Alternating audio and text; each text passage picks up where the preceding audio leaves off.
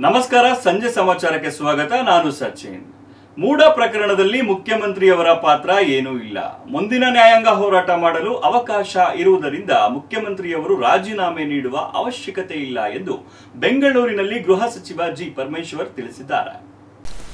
ನಗರದಲ್ಲಿ ಸುದ್ದಿಗಾರರೊಂದಿಗೆ ಮಾತನಾಡಿದ ಅವರು, ಮುಖ್ಯಮಂತ್ರಿಯವರು ಯಾವುದೇ ಕಡತಕ್ಕೆ ರುಜು ಹಾಕಿಲ್ಲ.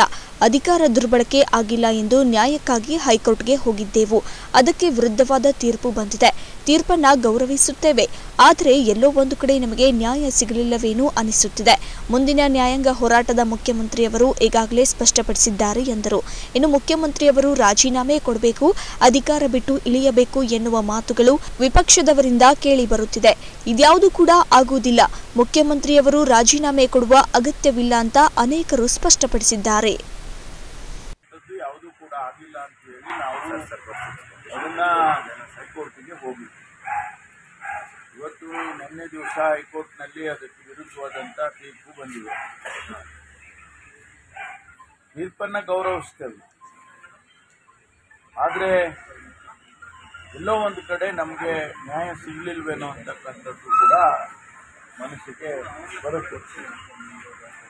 ಮುಂದೆ ಏನು ಮಾಡಬೇಕು ಅನ್ನೋದ್ರ ಬಗ್ಗೆ ಈಗಾಗಲೇ ಮುಖ್ಯಮಂತ್ರಿಗಳು ನ್ಯಾಯಾಂಗದ ಹೋರಾಟ ಮಾಡ್ತೇವೆ ಅಂತಕ್ಕಂಥದ್ದನ್ನು ಕೂಡ ಸ್ಪಷ್ಟವಾಗಿ ಹೇಳಿದ್ದಾರೆ. ಅದನ್ನು ಮಾಡ್ತೇವೆ. ಆದರೆ ಮುಖ್ಯಮಂತ್ರಿಗಳು ರಾಜೀನಾಮೆ ಕೊಡಬೇಕು ಮತ್ತು ಅವರ ಅಧಿಕಾರ ಬಿಟ್ಟು ಹಿಡಿಬೇಕು ಆ ಥರದ್ದೆಲ್ಲ ಏನು ಮಾತುಗಳು ಕೇಳಿ ಬರ್ತಾ ಇದೆ. ಅದು ಯಾವುದೂ ಕೂಡ ಆಗೋದಿಲ್ಲ. ಅವರು ರಾಜೀನಾಮೆಯ ಕೊಡುವಂಥ ಅಗತ್ಯನೂ ಕೂಡ ಇಲ್ಲ ಅಂತೇಳಿ ಈಗಾಗಲೇ ಅನೇಕ ಜನ ಸ್ಪಷ್ಟಪಡಿಸಿದ್ದಾರೆ. ನಾನು ಕೂಡ ಸ್ಪಷ್ಟಪಡಿಸಿದ್ದೇನೆ ಕಾರಣ ಏನು ಅಂತ ಹೇಳಿದರೆ ನಾವು ಈಗ ಅಪೀಲ್ ಹಾಕ್ ಹಾಕ್ತಕ್ಕಂಥದ್ದು ಮತ್ತು ಮುಂದೆ ಹೋರಾಟ ನ್ಯಾಯ ನ್ಯಾಯಾಂಗದಲ್ಲಿ ಹೋರಾಟ ಮಾಡ್ತಕ್ಕಂಥದ್ದು ಇರೋದ್ರಿಂದ ಅಂಥ ಅವಶ್ಯಕತೆ ಬರೋದಿಲ್ಲ. ಸಿದ್ದರಾಮಯ್ಯನವ್ರ ಮೇಲೆ ಇದುವರೆಗೂ ಒಂದೇ ಒಂದು ಬ್ಲಾಕ್ ಮಾರ್ಕ್ ಇರಲಿಲ್ಲ. ಈಗ ಹೈಕೋರ್ಟ್ ಆದೇಶ ಕೊಟ್ಟಿರ್ತಕ್ಕಂಥ ಹಿನ್ನೆಲೆಯಲ್ಲಿ ದೊಡ್ಡ ಮಟ್ಟದ ಒಂದು ಕುಚ್ಚುಕ್ಕೆ ಆಯಿತು ಅಂತ. ಎಂಥವರಿಗೂ ಕೂಡ ನಲವತ್ತು ನಲವತ್ತೈದು ವರ್ಷದ ರಾಜಕೀಯ ಜೀವನದಲ್ಲಿ ಯಾವುದೇ ರೀತಿಯ ಆಪಾದನೆಗಳು ಅವರಿಗೆ ಬರದೇ ಇರುವಾಗ ಇದನ್ನ ರಾಜಕೀಯ ದುರುದ್ದೇಶದಿಂದ ಏನು ಮಾಡಿ ಗುಂಡ್ಲುಪೇಟೆ ವಿಧಾನಸಭಾ ಕ್ಷೇತ್ರದ ಶಾಸಕ ಎಚ್ ಎಂ ಗಣೇಶ್ ಪ್ರಸಾದ್ ಅವರು ಸರ್ಕಾರದಿಂದ ಇಪ್ಪತ್ತು ಲಕ್ಷ ಅನುದಾನವನ್ನೇರಿಸಿ ತಮ್ಮ ಚಿಕ್ಕಪ್ಪ ಅವರ ಕೃಷರ್ಗೆ ಸಂಪರ್ಕ ರಸ್ತೆ ನಿರ್ಮಾಣ ಮಾಡುವ ಉದ್ದೇಶದಿಂದ ಬಡ ದಲಿತರಾದ ನಾವು ಬೆಳೆದಿದ್ದ ಫಸಲು ಕೈ ಸೇರುವ ಮುನ್ನವೇ ನಾಶ ಮಾಡಿದ್ದಾರೆ ಎಂದು ಹಾಜರಿದ್ದ ರೈತರು ಆಕ್ರೋಶವರಾಗಿದ್ದಾರೆ ಮಾಡಿಕೊಳ್ಳುವ ಮೂಲಕ ಕೈ ಸೇರಬೇಕಿದ್ದ ಫಲಸನ್ನ ನಾಶಪಡಿಸಿ ಪ್ರಭಾವಿಗಳ ಬಿಳಿಕಲ್ಲು ಹರಿಯುವ ಖಾಸಗಿ ಸ್ಥಳಕ್ಕೆ ಶಾಸಕರು ರಸ್ತೆ ಮಾಡಿಸಿದ್ದಾರೆ ಎಂದು ರೈತರು ಗೋಳಾಡುವ ಮೂಲಕ ವಿಧಾನ ಪರಿಷತ್ ವಿಪಕ್ಷ ನಾಯಕ ಚಲವಾದಿ ನಾರಾಯಣಸ್ವಾಮಿ ಅವರಲ್ಲಿ ನ್ಯಾಯ ಕೊಡಿಸುವಂತೆ ಅಂಗಲಾಚಿದ ಘಟನೆ ನಡೆದಿದೆ. ರೈತರ ಸಮಸ್ಯೆಯ ಮಾಹಿತಿ ಪಡೆದ ವಿಧಾನ ಪರಿಷತ್ ವಿಪಕ್ಷ ನಾಯಕ ಚಲವಾದಿ ನಾರಾಯಣಸ್ವಾಮಿ ಮಂಗಳವಾರ ರಸ್ತೆ ನಿರ್ಮಾಣ ಸ್ಥಳಕ್ಕೆ ಕೊಳ್ಳೇಗಾಲ ಮಾಜಿ ಶಾಸಕ ಎನ್ ಮಹೇಶ್ ಹಾಗೂ ಬಿಜೆಪಿ ಚಾಮರಾಜನಗರ ಜಿಲ್ಲಾಧ್ಯಕ್ಷ ಸಿಎಸ್ ನಿರಂಜನ್ ಕುಮಾರ್ ಜೊತೆಗೂಡಿ ರೈತರ ಸಮಸ್ಯೆಯನ್ನ ಆಲಿಸಿದ್ರು. ನಮಗೆ ರಸ್ತೆಯ ಅಗತ್ಯವಿಲ್ಲ, ನಾವು ಅನ್ಯೋನ್ಯವಾಗಿ ಫಸಲು ಬೆಳೆದು ಯಾವುದೇ ತಂಟೆ ತಕರಾರು ಇಲ್ಲದೆ ಜೀವನ ಸಾಗಿಸುತ್ತಿದ್ದೇವೆ. ಇಲ್ಲಿ ಇರುವುದು ಎಂಟು ಅಡಿ ಬಂಡಿ ದಾರಿಯಷ್ಟೇ. ಆದರೆ ನಮಗೆ ಬೆದರಿಕೆ ಹಾಕಿ ಕೇಸ್ ಮಾಡುತ್ತೇವೆ ಎಂದು ಬೆದರಿಸಿದ ತಹಶೀಲ್ದಾರ್ ಮತ್ತು ಬೇಗೂರು ಪೊಲೀಸರು ಸ್ವತಃ ಮುತುವರ್ಜಿ ವಹಿಸಿ ಸ್ಥಳದಲ್ಲಿ ಮೊಕ್ಕಾಂ ಹೂಡಿ ರಸ್ತೆ ನಿರ್ಮಾಣ ಮಾಡಿಸಿದ್ದಾರೆ. ನಮ್ಮ ಫಸಲು ಕೈ ಸೇರುವ ಮುನ್ನವೇ ಸಮಯಾವಕಾಶ ನೀಡದೆ ರಸ್ತೆ ನಿರ್ಮಾಣ ಮಾಡಿದ್ದಾರೆ ಅಂತ ಅಳಲು ತೋಡಿಕೊಂಡಿದ್ದಾರೆ. ಶಿವಕುಮಾರ್, ಅಮೋಕ್ ಟಿವಿ, ಗುಂಡ್ಲುಪೇಟೆ. ನಮ್ಮ ಹೊಲ ಎಲ್ಲ ಇದೆ ಸರ್ ಈ ಪಕ್ಕದಲ್ಲಿ ನಾವು ರಸ್ತೆ ಇದೆ ಅಂತ ಮಾಡ್ಕೊಂಡ್ಬನ್ನಿ ಅಂತ ಇಲ್ಲಿ ರಸ್ತೆ ಏನು ಇಲ್ಲ ಸರ್ ಇಲ್ಲಿ ಬಂಡಿದಾರಿ ಅಂತ ಬಂದಿದ್ರೆ ಅಲ್ಲಿ ಮಾತ್ರ ಜನಗಳು ಮಾತ್ರ ಓಡಾಡಕ್ಕೆ ರಸ್ತೆ ಮಾಡಿದ್ದೀವಿ ಅಷ್ಟೇ ಏನು ನಾವು ಲಾರಿ ಬಸ್ಸು ಅಂತ ಓಡಕ್ಕೆ ಏನು ನಾವು ರಸ್ತೆ ಮಾಡಿ ಅಂತಲೂ ಹೇಳಿಲ್ಲ ಅವರೇ ಮಾಡ್ಕೊಂಡು ಬರ್ತಾ ಇದ್ದಾರೆ ಸರ್ ನಮ್ಮನ್ನ ನಾವು ಕೇಳಕ್ಕೆ ಬಂದು ಫೋಟೋ ಎಲ್ಲ ಇಟ್ಕೊಂಡಿದ್ರನ್ನ ನಂದು ಎಲ್ಲ ಫೋಟೋ ಎಲ್ಲ ಕಿತ್ತಿ ನೀರೊಳಗೆ ಹಾಕಿದ್ದಾರೆ ಸರ್ ಅಂಬೇಡ್ಕರ್ ಫೋಟೋನ ಈಗ ಅದನ್ನ ಕೇಳೋರೆ ನಮ್ಗೆ ದಿಕ್ಕಿಲ್ಲ ಸರ್ ನಮ್ಮಂತ ಕೂಲಿ ಮಾಡ್ಕೊಂಡು ತಿಂತಿದೀವಿ ಸರ್ ಒಂದೊಂದು ಒಂದೊಂದು ಎಕರೆ ಮಾಡಿಕೊಂಡಿದೀವಿ ಅದನ್ನು ಕಿತ್ಕೊಂಡು ತಿಂತಾವ್ರೆ ಸರ್ ಈಗ ನಮ್ಮ ಮಕ್ಳು ಕಟ್ಕೊಂಡು ನಾವು ಎಲ್ಲಿಗೆ ಹೋಗೋ ಅವ್ರು ಏನು ಕೊಡ್ತಾರೆ ನಮ್ಗೆ ಹೇಳಿ ನಮ್ಗೆ ಪರಿಹಾರ ನಮ್ಗೆ ಏನು ಕೊಡ್ತೀವಿ ಅಂತ ಹೇಳ್ತಾರೆ ನಮ್ಗೆ ಅವ್ರು ಪರಿಹಾರ ಬೇಡ ನಾವು ರಸ್ತೆ ಮಾತ್ರ ನಾವು ಬಿಟ್ಕೊಡಲ್ಲ ನಾವು ಯಾವುದೇ ಕಾರಣಕ್ಕೂ ಇಲ್ಲೇ ಮನೆ ನಿಗಿರ್ತೀವಿ ಹೊರತು ನಾವು ಯಾವುದೇ ಕಾರಣಕ್ಕೂ ರಸ್ತೆ ಬಿಟ್ಕೊಡಲ್ಲ ಇಷ್ಟೇ ಸರ್ ನಾನು ಹೇಳಕ್ ಇಷ್ಟ ಅವ್ರಿಗೋಸ್ಕರ ಸರ್ ಅವ್ರಿಗೋಸ್ಕರ ಜನಗಳಿಗೋಸ್ಕರ ಅಂತ ಹೇಳ್ತಾವ್ರೆ ಗಣೇಶ್ ಪ್ರಸಾದ್ ಅವ್ರಿಗೋಸ್ಕರ ಅಂದ್ರೆ ಇನ್ನು ಹಳ್ಳಿ ಇಲ್ಲ ಇಲ್ಲ ಸರ್ ಒಂದು ರೋಡು ಇಲ್ಲ ಏನ್ ಇಲ್ಲಿ ರೋಡ್ ಬರ್ತದ ಅಂತ ಹೇಳ್ತಾರೆ ಅವರು ಇಲ್ಲಿ ಯಾವ ಊರು ಇಲ್ಲ ಕೇರಿ ಇಲ್ಲ ಓಡಾಡಕ್ಕೆ ಏನು ಕೇಳಿದವ್ ರಸ್ತೆನ ರಸ್ತೆ ಕೇಳೋರು ಅಂತ ಹೇಳಿದ್ರು ತಾನೇ ರಸ್ತೆ ನಾವು ಮಾಡಿ ಅಂತ ಏನು ಹೇಳಿಲ್ಲ ಸರ್ ಅವ್ರಿಗೆ ಅವ್ರಿಗೋಸ್ಕರ ಕ್ರಿಸ್ತರ್ಗೋಸ್ಕರ ಆದಾಯ ಮಾಡ್ಕೊತಾವ್ರೆ ಅವರು ಅಷ್ಟೇ ಬಡವ್ರು ಅವ್ರಿಗೋಸ್ಕರ ಅಂತ ಹೇಳ್ತಾ ಇರೋದೆಲ್ಲ ಸುಳ್ಳು ಸರ್ ಅವ್ರು ಅವ್ರಿಗೋಸ್ಕರ ಮಾಡ್ಕೊಳ್ಳೋ ಸಲುವಾಗಿ ಅವ್ರದ್ದು ಸುಳ್ಳ ಹುಟ್ಟಾಕೊಂಡವ್ರ ಅಷ್ಟೇ ಎಲ್ಲ ಎದುರಿಸಿದ್ರೆ ಪೊಲೀಸರು ಕರ್ಕೊಂಡ್ಬಂದು ಬಿಟ್ಕೊಡ್ತಾರೆ ಅಂತ ಅವರು ಪೊಲೀಸರೆಲ್ಲ ತುಂಬ್ಕೊಂಡ್ಬಂದು ತುಂಬ್ಕೋಗಿ ತುಂಬ್ಕೋಗಿ ಅಂತ ಹೇಳ್ತಾರಲ್ಲ ನಾವೇನ್ ಕುರಿಗಳ ಮೂಡ ಹಗರಣದಲ್ಲಿ ಸಿಎಂ ಸಿದ್ದರಾಮಯ್ಯ ವಿರುದ್ಧ ರಾಜ್ಯಪಾಲರು ನೀಡಿದ ಪ್ರಾಸಿಕ್ಯೂಷನ್ ತನಿಖೆಯನ್ನ ಪ್ರಶ್ನಿಸಿ ಸಿದ್ದರಾಮಯ್ಯ ಸಲ್ಲಿಸಿದ ಅರ್ಜಿಯನ್ನ ಕೋರ್ಟ್ ತಿರಸ್ಕರಿಸಿದ ಹಿನ್ನೆಲೆ ಸಿದ್ದರಾಮಯ್ಯ ರಾಜೀನಾಮೆ ಆಗ್ರಹಿಸಿ ಮೈಸೂರು ಊಟಿ ರಸ್ತೆ ತಡೆದು ಪ್ರತಿಭಟನೆ ನಡೆಸಲಾಯಿತು. ಬಿಜೆಪಿ ಮುಖಂಡರು ಕಾರ್ಯಕರ್ತರಿಂದ ಮೈಸೂರು ಊಟಿ ರಾಷ್ಟ್ರೀಯ ಹೆದ್ದಾರಿ ಬಂದ್ ಮಾಡಿ ಅರ್ಧ ತಾಸು ಪ್ರತಿಭಟಿಸಿ ಸಿದ್ದರಾಮಯ್ಯ ರಾಜೀನಾಮೆಗೆ ಆಗ್ರಹಿಸಿದ್ರು. ಇನ್ನು ಸೈಟ್ ಗುಳು ಮಾಡಿರುವ ಸಿದ್ದರಾಮಯ್ಯ ಭ್ರಷ್ಟ ಸಿಎಂ ಸಿದ್ದರಾಮಯ್ಯ ಎಂದು ಘೋಷಣೆ ಕೂಗಿ ಆಕ್ರೋಶ ಹೊರಹಾಕಿದ್ರು. ಕೊಡಲೇಬೇಕು! ಕೊಡಲೇಬೇಕು! ಕೊಡಲೇಬೇಕು ಕೊಡಲೇಬೇಕು! ಕೊಡಲೇಬೇಕು! ಸಿದ್ದರಾಮಯ್ಯ! ಸಿದ್ದರಾಮಯ್ಯನಿಗೆ! ರಸ್ತೆ ತಡೆದಿದ್ದರಿಂದ ವಾಹನ ಸಂಚಾರ ಅಸ್ತವ್ಯಸ್ತವಾಗಿತ್ತು. ಬನ್ನಿ ಬೇಡ ಅಂತ ರಾಜೀನಾಮೆ ಅಂತೇಳಿ ಭಾರತೀಯ ಜನತಾ ಪಾರ್ಟಿ ಆಗ್ರಹಿಸ್ತಾ ಇದೆ.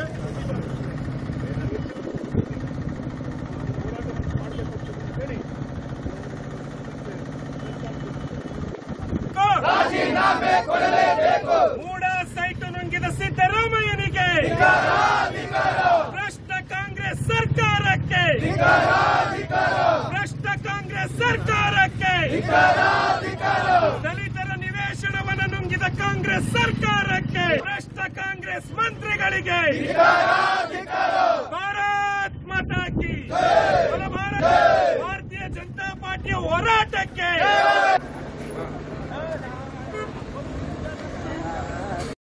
ಮದುವೆ ಆದ್ಮೇಲೆ ಸುಂದರ ಸಂಸಾರದ ಕನಸು ಕಂಡಿದ್ದ ಇಸ್ರೋ ಹೊರ ಗುತ್ತಿಗೆ ಉದ್ಯೋಗಿ. ಹೆಂಡತಿ ಹಾಗೂ ಮನೆಯವರ ಕಾಟದಿಂದ ಮನೆಯಿಂದ ಅವರ ಬಂದು ಪತ್ನಿ ಜೊತೆಗೆ ಸಂಸಾರ ಮಾಡು ಎಂದು ಪೀಡಿಸುತ್ತಿದ್ದ ಹತ್ತೆ ಮಾವ ಹಾಗೂ ಸಂಬಂಧಿಕರು ಕಡೆಗೆ ಮೂವತ್ತು ಲಕ್ಷ ಹಣಕ್ಕೆ ಬೇಡಿಕೆ ಇಟ್ಟು ಇದೀಗ ಪರಾರಿಯಾಗಿದ್ದಾರೆ. ಹೀಗೆ ಶವದ ಮುಂದೆ ಗೋಳಾಡುತ್ತಿರುವ ಸಂಬಂಧಿಕರು, ಮತ್ತೊಂದೆಡೆ ಮೃತನ ಶಿವ ಸಂಸ್ಕಾರದಲ್ಲಿ ಭಾಗಿಯಾಗಿರುವ ನೂರಾರು ಜನರು. ಈ ದೃಶ್ಯಗಳು ಕಂಡು ಬಂದಿದ್ದು ಕೋಲಾರ ತಾಲೂಕಿನ ಮುದುವತ್ತಿ ಗ್ರಾಮದಲ್ಲಿ. ಹೌದು ಮುದವತ್ತಿ ಗ್ರಾಮದ ನಿವಾಸಿ ಶ್ರೀಕಾಂತ್ ಐಟಿಐ ಮುಗಿಸಿ ಕಳೆದ ಐದು ವರ್ಷದಿಂದ ಬೆಂಗಳೂರಿನ ಮಾರತ್ಹಳ್ಳಿಯ ಇಸ್ರೋ ಸಂಸ್ಥೆಯಲ್ಲಿ ಎಲೆಕ್ಟ್ರಿಷಿಯನ್ ಆಗಿ ಕೆಲಸ ಮಾಡುತ್ತಿದ್ದ ಮನೆಯವರು ನಿಶ್ಚಯ ಮಾಡಿದಂತೆ ಒಂದೂವರೆ ವರ್ಷದ ಹಿಂದೆ ಮಧುವತ್ತಿ ಗ್ರಾಮದ ಪಾವನ ಎನ್ನುವ ಯುವತಿಯನ್ನ ವಿವಾಹವಾಗಿದ್ದ. ಶ್ರೀಕಾಂತ್ ದಂಪತಿಗಳ ಸಾಂಸಾರಿಕ ಜೀವನಕ್ಕೆ ಐದು ತಿಂಗಳ ಒಂದು ಹೆಣ್ಣು ಮಗು ಸಹ ಇತ್ತು. ಆದರೆ ಪಾವನ ಪೋಷಕರಾದ ಯಲ್ಲಪ್ಪ ಹಾಗೂ ಲಕ್ಷ್ಮೀದೇವಮ್ಮ ಶ್ರೀಕಾಂತ್ಗೆ ಇನ್ನಿಲ್ಲದ ಕಾಟ ಕೊಟ್ಟಿದ್ದಾರೆ. ಮಗಳನ್ನ ಕರೆದುಕೊಂಡು ಬೇರೆಡೆ ಸಂಸಾರ ಮಾಡುವಂತೆ ಕಳೆದ ಒಂದು ವರ್ಷದಿಂದ ಒತ್ತಡ ಹೇರಿದ್ದಾರೆ. ಇಲ್ಲದೆ ಹೋದರೆ ಮೂವತ್ತು ಲಕ್ಷ ಹಣವನ್ನ ಪರಿಹಾರವಾಗಿ ನೀಡುವಂತ ಧಮಕಿ ಹಾಕಿದ್ದಾರೆ. ಆದರೆ ಅಮಾಯಕ ಆಗಿದ್ದ ಶ್ರೀಕಾಂತ್ ಪತ್ನಿ ಹಾಗೂ ಮಗುವನ್ನ ಬಿಟ್ಟು ಇರಲಾರದೆ ಇತ್ತ ಪೋಷಕರಿಗೂ ಈ ವಿಚಾರ ತಿಳಿಸಲಾಗದೆ ಕೊರಗಿ ಕೊರಗಿ ಸಾಕಷ್ಟು ಕುಗ್ಗಿ ಹೋಗಿದ್ದ. ಮಗುವಾಗಿ ಐದು ತಿಂಗಳಾದರೂ ಮಗುವಿನ ಮುಖ ನೋಡಲು ಪತ್ನಿ ಹಾಗೂ ಅತ್ತೆ ಮಾವ ಬಿಡಲಿಲ್ಲ ಅನ್ನೋ ಕೊರಗು. ಶ್ರೀಕಾಂತ್ಗೆ ಇನ್ನಿಲ್ಲದಂತೆ ಕಾಡಿತ್ತು. ಇದರ ಮಧ್ಯೆ ಹಣಕ್ಕಾಗಿ ರಸ್ತೆ ಮಧ್ಯೆ ಶ್ರೀಕಾಂತ್ಗೆ ಅಡ್ಡಗಟ್ಟಿದ ಮಾವ ಯಲ್ಲಪ್ಪ ಹಾಗೂ ಯಲ್ಲಪ್ಪ ಸಹೋದರ ಹರೀಶ್ ಹಣ ನೀಡದೆ ಹೋದರೆ ಸುಳ್ಳು ಕೇಸ್ ದಾಖಲು ಮಾಡುವುದಾಗಿ ಬೆದರಿಕೆ ಹಾಕಿದ್ದಾರೆ. ಶುಕ್ರವಾರ ದಿನ ಸಾಯಂಕಾಲ? ಶುಕ್ರವಾರ ದಿನ ಸಾಯಂಕಾಲ ಮನೆಗೆ ಬಂದು ಊಟ ಮಾಡ್ತಾ ಇದ್ದೀನಿ ಒಂದು ತುತ್ತು ಕೈಯಲ್ಲಿ ಇದು ಕಿತ್ಕೊಂಡಷ್ಟೇ ಫೋನ್ ಮಾಡಿದ್ರು. ಇಲ್ಲಿ ಮತ್ತೆ ಏನೋ ಮಾತಾಡ್ಬೇಕು ಬಾಂಜಪ್ಪನ ಮನೆ ಹತ್ರ ಅಂದ್ರು. ಫೋನ್ ಮಾಡಿ ಕರ್ಸ್ಕೊಂಡು, ಏನು, ಏನ್ ಮಾತಾಡಲ್ಲ ನನ್ನ ಊಟ ಮಾಡ್ಬೇಕನ್ನಿ ಊಟ ಮಾಡೋತಿದ್ರೆ ಇರ್ಲಿ ಏನೋ ಮಾತಾಡ್ಬೇಕು, ಬಾ ಅಂದ್ರು. ಆಮೇಲೆ ಹೋಗ್ತಾನೆ ಏನ್ ಮಾಡಿದ್ರು ಅಂದ್ರೆ ಮೂರ್ ಜನ ಸರ್ ಅವರು. ಎಲ್ಲಪ್ಪ ಕಿರಣ್ ಇದು ಹರೇಶ್ ಹರಿ- ಹರೀಶ್. ಇದು ಅವ್ರು ಏನೋ ಇದು ರಾಡು ಸುತ್ತೆ ಮಚ್ಚು ತಂದಿದ್ ನಾನು ನೋಡಿಲ್ಲ. ಹೋಗ್ತಾನೆ ಬಗ್ಸ್ಕೊಂಡ್ಬಿಟ್ಟು ಬೆನ್ನ ಮೇಲೆ ಸುತ್ತಿದಲ್ಲಿ ಹೊಡೆದ್ಬಿಟ್ರು. ಮೊಣಕಾಲಿನಲ್ಲಿ ಇದು ರಾಡಲ್ಲಿ ಮುಚ್ಚಲ್ಲಿ ನೋಡ್ತಾರೆ ತಲೆ ಹೊಡೆದ್ಬಿಟ್ಟಿದ್ದಾರೆ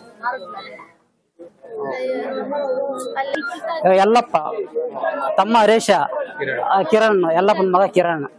ಕರ್ಸ್ಕೊಂಡಿದ್ದು ಎಲ್ಲಪ್ಪ ಆ ಹುಡುಗಿಯವರಪ್ಪ ಆಮೇಲೆ ಪ್ರಾಣಬಾಯಿಂದ ತಪ್ಪಿಸ್ಕೊಂಡು ತಪ್ಪಿಸ್ಕೊಂತ ನಾನು ಅಲ್ಲಿ ಬಿಡಿಸಿದ್ದು ಆಂಜಪ್ಪ, ಕೃಷ್ಣಪ್ಪ ನಮ್ಮ ಶಿವಪ್ಪ. ಪ್ರಾಣದಾನಿಕ ತಪ್ಪಿಸ್ಕೊಂಡ್ರು ಹಂಗೆ ಹಿಂದೆ ಬಂದ್ರು. ಹಂಗೆ ಹೋಗಿ ಇದು ಅಡ್ಮಿಟ್ ಆಗ್ಬಿಟ್ಟು ಸರ್. ಸರ್ ಘಟನೆ ಅವರು ನಮ್ ತಮ್ಮ ಲವ್ ಮಾಡಿ ಅರೇಂಜ್ ಮ್ಯಾರೇಜ್ ಇದೇ ಊರಲ್ಲಿ ಎಲ್ರು ಒಪ್ಸಿ ಮಾಡ್ಕೊಂಡ ಸರ್ ಅವ್ರು ಒಬ್ಬೊಬ್ರ ಅಪ್ಪ, ಅವ್ರ ಅಮ್ಮ ಯಾರು ಸೇರಿಲ್ಲ. ಎಲ್ಲ ಅವ್ರು ಮೊದ್ಲೇ ಒಬ್ಬ ಮೊದಲನೇ ಹುಡುಗಿನೂ ಅಷ್ಟೇ. ಅವ್ನಿಗೆ ಮದುವೆ ಗಾಂಧಿನಗರ್ ಮದುವೆ ಮಾಡ್ಕೊಟ್ಬಿಟ್ಟು ಅಲ್ಲಿ ಇದೇ ತರ ಟಾರ್ಚರ್ ಕೊಟ್ಟು ಆ ಹುಡುಗಿನ ತಂದು ಇಲ್ಲಿ ಇಟ್ಕೊಂಡವ್ರೆ. ಇವಾಗ ಎರಡನೇ ಹುಡುಗನ ಇಲ್ಲೇ ಇಟ್ಕೊಂಡಕ್ ನನ್ನ ತಮ್ಮನಿಗೆ ಇಲ್ದಿದ್ ಟಾರ್ಚರ್ ನಿನ್ನ ಅಪ್ಪ ಅಮ್ಮನ್ ಬಿಟ್ಟು ಬಂದ್ಬಿಡು. ಇಲ್ಲಾಂದ್ರೆ ನಿನ್ಗೆ ಮೂವತ್ತು ಲಕ್ಷ ಕೊಡು. ನಾವೆಲ್ಲ ಮದುವೆಗೆ ದುಡ್ಡು ಖರ್ಚು ಮಾಡಿ ಮಾಡಿದ್ದೀವಿ ನಿನ್ಗೆ. ಇಲ್ಲಾಂದ್ರೆ ನಿಮ್ಮ ಅಪ್ಪ ನಿಮ್ಮ ಅಮ್ಮನ್ ಬಿಟ್ಟು ನನ್ನ ಮಗಳು ಬೆಂಗಳೂರಲ್ಲಿ ಸಾಕೋಬೇಕು ವೈಫೈ ಜೀವನ. ಇಲ್ಲಾಂದ್ರೆ ನೀನ್ ನೀನ್ ಸಾಯಿಸ್ತೀನಿ. ಇಲ್ಲ ಬದುಕ್ತೀನಿ. ನನ್ನ ಮಗಳ್ ಬೇರೆ ಕರ್ಕೊಂಡು ಹೋಗಿಲ್ಲ ಅಂದ್ರೆ ಅಂತ ಅವ್ನು ಡೈಲಿ ಬೆದರಿಕೆ ಆಗ್ತಾ ಇದ್ರು ಸರ್. ಸರ್, ಅವರು ಅವರು ಅತ್ತೆ, ಅವ್ರ ಮಾವ, ಅವ್ರ ಹೆಂಡತಿ, ಅವ್ರ ತಂದೆ, ತಾಯಿ, ಎಲ್ಲಪ್ಪ, ತರಕಾರಿ ಎಲ್ಲಪ್ಪ, ಮತ್ತೆ ಅವ್ರ ತಮ್ಮ ಹರೀಶ, ಅವ್ರ ಮಕ್ಕಳು ಕಿರಣ್ಣ, ಶಿವ, ಮತ್ತೆ ಪದ್ಮ, ಅವ್ರ ಮಿಸ್ಸಸ್ ಲಕ್ಷ್ಮೀದೇವಮ್ಮ ಅಂತ ಹೇಳ್ಬಿಟ್ಟು. ಇವ್ರು ಐದು, ಆರು ಜನ ಸೇರ್ಕೊಂಡು ನನ್ನ ತಮ್ಮನ್ ಇವತ್ತು ಇಲ್ದೆ ಮಾಡಿದ್ದಾರೆ ಸರ್. ಚೆನ್ನಾಗಿಟ್ಟಿದ್ಲಿ ಸರ್. ಹುಡುಗಿ ಹೆಸರು ಪಾವನಿ ಸರ್ ಅವ್ರು ಒಬ್ಬನೇ ಸರ್ ತಿಕ್ಕು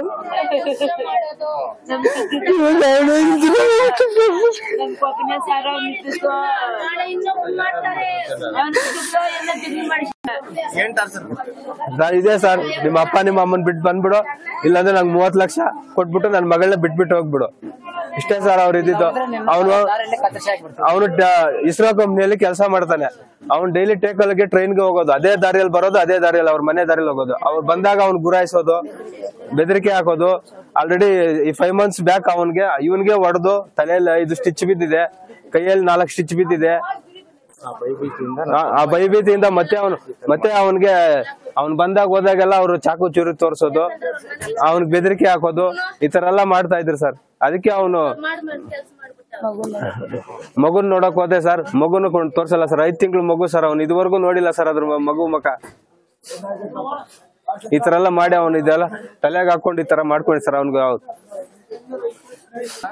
ಇನ್ನು ವೈವಾಹಿಕ ಜೀವನ ಹೊರತುಪಡಿಸಿ ಆನಂದವಾಗಿ ಜೀವನ ನಡೆಸುತ್ತಿದ್ದ ಶ್ರೀಕಾಂತ್ ಬೆಂಗಳೂರಿನಲ್ಲಿ ವಾಸವಿದ್ದು ಒಳ್ಳೆ ಸಂಪಾದನೆ ಮಾಡ್ತಾ ಇದ್ರು. ಮದುವೆಯಾದ ನಂತರ ಮಾನಸಿಕ ಹಿಂಸೆಗೆ ಒಳಗಾಗಿದ್ದ ಶ್ರೀಕಾಂತ್ ಎಲ್ಲ ಹವ್ಯಾಸವನ್ನ ಬಿಟ್ಟು ಪತ್ನಿ ಹಾಗೂ ಕುಟುಂಬದ ಬಗ್ಗೆ ಸಾಕಷ್ಟು ತಲೆ ಕೆಡಿಸಿಕೊಂಡಿದ್ರು. ಈ ಮಧ್ಯೆ ಪತ್ನಿ ಹಾಗೂ ಅವರ ಕುಟುಂಬಸ್ಥರ ಹಿಂಸೆಗೆ ತಾಳಲಾರದೆ ಶ್ರೀಕಾಂತ್, ಈ ಬಗ್ಗೆ ನಮಗೆ ಯಾವುದೇ ಮಾಹಿತಿಯನ್ನ ಈವರೆಗೂ ಹೇಳಿಲ್ಲ ಅಂತ ಆಪ್ತ ಸ್ನೇಹಿತ ನಾಗರಾಜ್ ತಿಳಿಸಿದ್ದಾರೆ. ಒಟ್ನಲ್ಲಿ ಮದುವೆಯಾದ ನಂತರ ಸುಂದರ ಜೀವನದ ಕನಸು ಕಂಡಿದ್ದ ಶ್ರೀಕಾಂತ್ ಇದೀಗ ಇಹಲೋಕಕ್ಕೆ ಶರಣಾಗಿದ್ದಾನೆ. ಕುಟುಂಬಸ್ಥರ ಆಕ್ರಂದನ ಮುಗಿಲು ಮುಟ್ಟಿದೆ. ಶ್ರೀಕಾಂತ್ಗೆ ಕಿರುಕುಳ ನೀಡಿದ ಎಲ್ಲರನ್ನ ಬಂಧಿಸಿ ಕಾನೂನು ಕ್ರಮ ಜರುಗಿಸುವಂತೆ ಪೋಷಕರು ಹಾಗೂ ಸಂಬಂಧಿಕರು ಒತ್ತಾಯಿಸಿದ್ದಾರೆ. ತಂದೆ ತಾಯಿ ಹಾಗೂ ಸಂಬಂಧಿಕರ ಪ್ರೀತಿಯಲ್ಲಿ ಬದುಕಿ ಬಾಳಬೇಕು ಎಂದುಕೊಂಡಿದ್ದ ಶ್ರೀಕಾಂತ್ ಇದೀಗ ಸಾವಿಗೆ ಶರಣಾಗಿದ್ದು ಮಾತ್ರ ದುರಂತವೇ ಸರಿ. ಹರ್ಷವರ್ಧನ್, ಅಮೋಕ್ ಟಿವಿ, ಕೋಲಾರ. ಸರ್ಕಾರ ಕಲ್ಯಾಣ ಕರ್ನಾಟಕ ಅಭಿವೃದ್ಧಿಗಾಗಿ ಕೋಟಿಗಟ್ಟಲೆ ಅನುದಾನ ನೀಡಿದ ಹಿನ್ನೆಲೆಯಲ್ಲಿ ಮಾನ್ವಿ ವಿಧಾನಸಭಾ ಕ್ಷೇತ್ರ ಕರಡಿಗುಡ್ಡ ಗ್ರಾಮದ ರಸ್ತೆಗೆ ಸಿಸಿ ರಸ್ತೆ ನಿರ್ಮಿಸಲು ಐವತ್ತು ಲಕ್ಷ ಅನುದಾನ ನೀಡಲಾಗಿದೆ ಎಂದು ಶಾಸಕ ಅಂಪಯ್ಯ ನಾಯ್ಕ ತಿಳಿಸಿದ್ದಾರೆ. ರಾಯಚೂರು ಜಿಲ್ಲೆಯ ಮಾನ್ವಿ ತಾಲೂಕಿನ ಕರಡಿಗುಡ್ಡ ಗ್ರಾಮದ ರಸ್ತೆ ನಿರ್ಮಿಸಲು ಕಾಮಗಾರಿಗೆ ಚಾಲನೆ ನೀಡಿ ಸುದ್ದಿಗಾರರೊಂದಿಗೆ ಮಾತನಾಡಿ, ಎರಡ್ ಸಾವಿರದ ಇಪ್ಪತ್ನಾಲ್ಕು ಇಪ್ಪತ್ತೈದನೇ ಸಾಲಿನ ಕೆಕೆಆರ್ ಡಿಬಿ ಅನುದಾನವಾಗಿದ್ದು, ಲೋಕೋಪಯೋಗಿ ಇಲಾಖೆ ಕಾರ್ಯನಿರ್ವಹಣೆ ಮಾಡುತ್ತಿದೆ. ಗುತ್ತಿಗೆದಾರ ಮೋಹನ್ ಕುಮಾರ್ ಅವರು ಕಾಮಗಾರಿ ಗುಣಮಟ್ಟದಲ್ಲಿ ಮಾಡಬೇಕು ಎಂದು ಸೂಚನೆ ನೀಡಿದರು. ಶಫೀಕ್ ಹುಸೇನ್, ಅಮೋಕ್ ಟಿವಿ, ಮಾನ್ವಿ. ಇದು ಏಳೆಂಟು ವರ್ಷದಿಂದ ಇದು ಇದೇ ರೀತಿ ಜನರಿಗೆ ತೊಂದರೆ ಇದು ಮಾಡ್ಬೇಕಂತ ಈಗ ಒಂದು ಆರು ತಿಂಗಳಿಂದ ನಾನು ಬಸವರಾಜ್ ಅವರು ಕೆ ಕೆ ಆರ್ ಡಿ ಬಿಗೆ ನಾವು ಕೊಟ್ಟಿದ್ವಿ.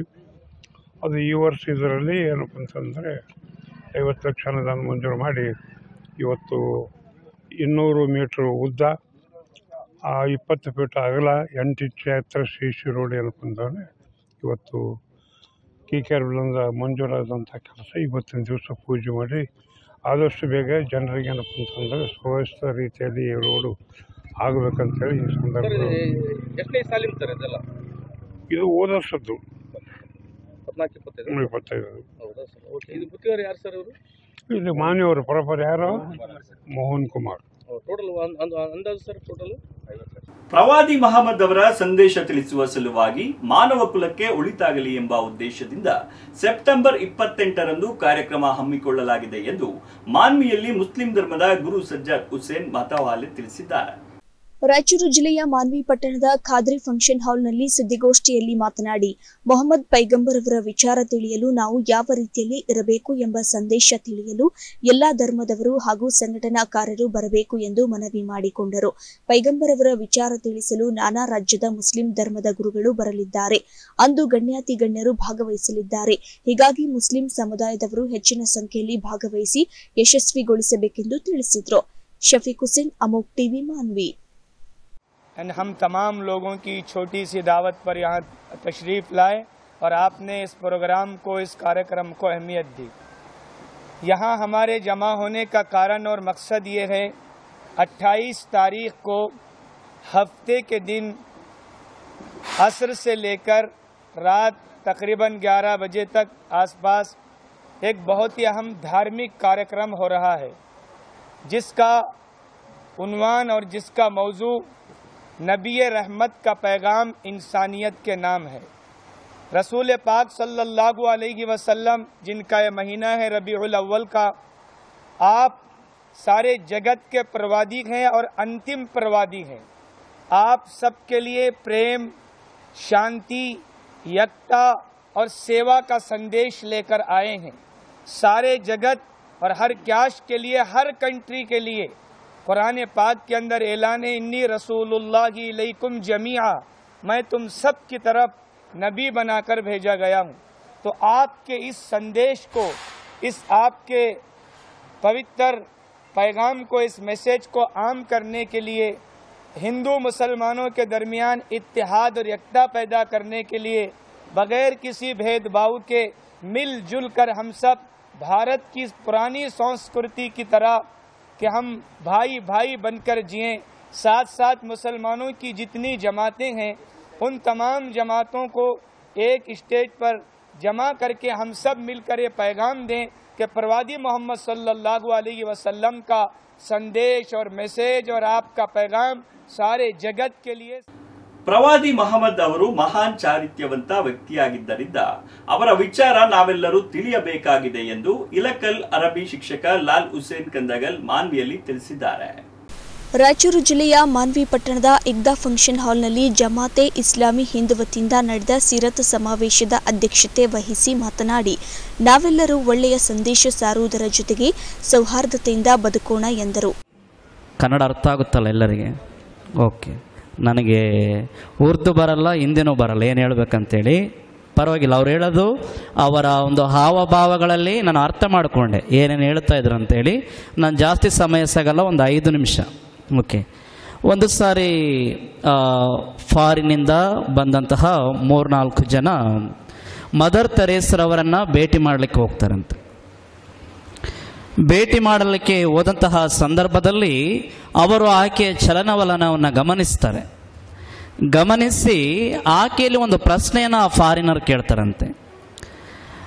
ಅಮ್ಮ ಮದರ್ ತೆರೇಸ್, ನಿನಗೂ ಮತ್ತು ನನಗೂ ಇರುವಂತಹ ವ್ಯತ್ಯಾಸ ಏನು?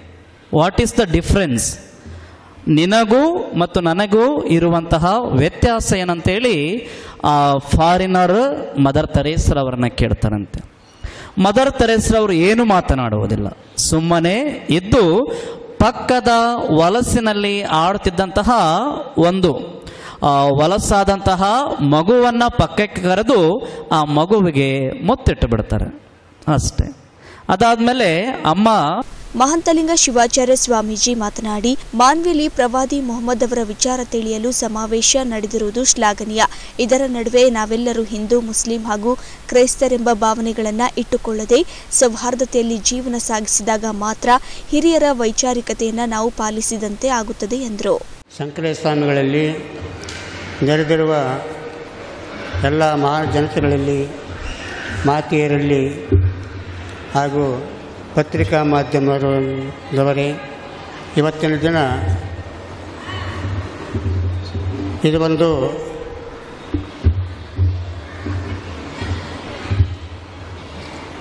ಸೌಭಾಗ್ಯ ದಿನ. ನಾವು ಬಟ್ಟೆ ಬದಲಾಗಿರ್ಬೋದು, ಭಾಷೆ ಬದಲಿ ಮಾಡಿಕೊಂಡಿರ್ಬೋದು ನಮ್ಮಲ್ಲಿರ್ತಕ್ಕಂಥ ನಮ್ಮ ನಿಮ್ಮಲ್ಲಿರುವಂಥ ಆ ಮನಸ್ಸಿನಲ್ಲಿ ಇರುವಂಥ ಒಬ್ಬನೇ ಪರಮಾತ್ಮ. ಆದರೆ ನಾವು ಶಿವ ಅಂತೀವಿ, ನೀವ, ನೀವು ಅಲ್ಲ ಅಂತ ಕೇಳ್ತೀರಿ. ಆದರೆ ದೇವರು ಮಾತ್ರ ಒಬ್ಬನೇ. ನಮ್ಮ ನಡೆನುಡಿಯಲ್ಲಿ ಮಾತ್ರ ಸ್ವಲ್ಪ ವ್ಯತ್ಯಾಸ ಇರಬಹುದು. ಅದನ್ನು ಒಂದು ಮಾಡೋದಕ್ಕೆ ನಾವೆಲ್ಲ ಪರಿಶ್ರಮ ಅದಕ್ಕೆ ಮುಂದಾಗಬೇಕು. ಇವತ್ತಿನ ದಿನ ಮಾನವಿ ತಾಲೂಕಿನೊಳಗೆ ಎಂಥ ಬಂದು ಹಿಂದೂ, ಮುಸ್ಲಿಂ ಅನ್ನುವಂತಕ್ಕಂಥ ಭಾವನೆ, ಒಂದೇ ಒಂದು ಭಾವೈಕ್ಯತೆ ಸಂಬಂಧವನ್ನು ನೀವೆಲ್ಲ ಎಷ್ಟು ಪ್ರೀತಿಯಿಂದ, ಅನ್ಯೋನ್ಯತೆಯಿಂದ, ಆತ್ಮೀಯತೆಯಿಂದ ನೀವೆಲ್ಲ ಕರೆದು ಆಹ್ವಾನಿಸಿ ಅವರಿಗೆ ಗೌರವತೆ ಕೊಡ್ತೀರಂದ್ರೆ ಇದಕ್ಕಿಂತ ಇನ್ನೇನು ಹೆಚ್ಚಿನ ವಿಷಯ ಹೇಳಬೇಕು. ಯಾಕಂದರೆ ಇದರಲ್ಲಿ ಯಾರೂ ಬೇರೆ ಇಲ್ಲ. ಶಫೀಕ್ ಹುಸೇನ್ ಅಮೋಕ್ ಟಿವಿ, ಮಾನ್ವಿ. ಸಿದ್ದರಾಮಯ್ಯ ರಾಜೀನಾಮೆಗೆ ಒತ್ತಾಯಿಸಿ ಬಿಜೆಪಿ ಕಾರ್ಯಕರ್ತರು ನಗರದ ಪ್ರವಾಸಿ ಮಂದಿರ ವೃತ್ತದಲ್ಲಿ ಮಂಗಳವಾರ ಪ್ರತಿಭಟನೆ ನಡೆಸಿ ರಾಜೀನಾಮೆ ಕೊಡುವಂತೆ ಆಗ್ರಹಿಸಿದರು. ಮುಖ್ಯಮಂತ್ರಿ ರಾಜೀನಾಮೆ ನೀಡಲೇಬೇಕು, ದಲಿತ ವಿರೋಧಿ ರಾಜ್ಯ ಸರ್ಕಾರಕ್ಕೆ ಧಿಕ್ಕಾರ. ಸಿದ್ದರಾಮಯ್ಯ ತೊಲಗುವವರೆಗೂ ಹೋರಾಟ ಎಂದು ಕಾರ್ಯಕರ್ತರು ಘೋಷಣೆಗಳನ್ನು ಕೂಗಿದ್ರು. ಬಿಜೆಪಿ ಜಿಲ್ಲಾ ಘಟಕದ ಅಧ್ಯಕ್ಷ ಹನುಮಂತೇಗೌಡ ನೇತೃತ್ವದಲ್ಲಿ ಪ್ರತಿಭಟನೆ ನಡೆಸಿ ಮೂಡ ನಿವೇಶನ ಹಂಚಿಕೆಗೆ ಸಂಬಂಧಿಸಿದಂತೆ ಮುಖ್ಯಮಂತ್ರಿ ಸಿದ್ದರಾಮಯ್ಯ ವಿರುದ್ಧದ ಕ್ರಿಮಿನಲ್ ಪ್ರಕರಣದ ತನಿಖೆಗೆ ರಾಜ್ಯಪಾಲರು ನೀಡಿರುವ ಆದೇಶ ಪ್ರಶ್ನಿಸಿ ಮುಖ್ಯಮಂತ್ರಿ ಸಿದ್ದರಾಮಯ್ಯ ಸಲ್ಲಿಸಿದ್ದ ರಿಟ್ ಅರ್ಜಿಯನ್ನು ಹೈಕೋರ್ಟ್ ವಜಾಗೊಳಿಸಿದೆ. ಮುಖ್ಯಮಂತ್ರಿಗಳಿಗೆ ನ್ಯಾಯಾಂಗದ ಮೇಲೆ ಗೌರವವಿದ್ದರೆ ಪಾರದರ್ಶಕ ತನಿಖೆ ನಡೆಸಲು ಮುಖ್ಯಮಂತ್ರಿ ಸ್ಥಾನಕ್ಕೆ ತಕ್ಷಣ ರಾಜೀನಾಮೆ ನೀಡಿ ತನಿಖೆ ಎದುರಿಸಬೇಕು ಎಂದರು.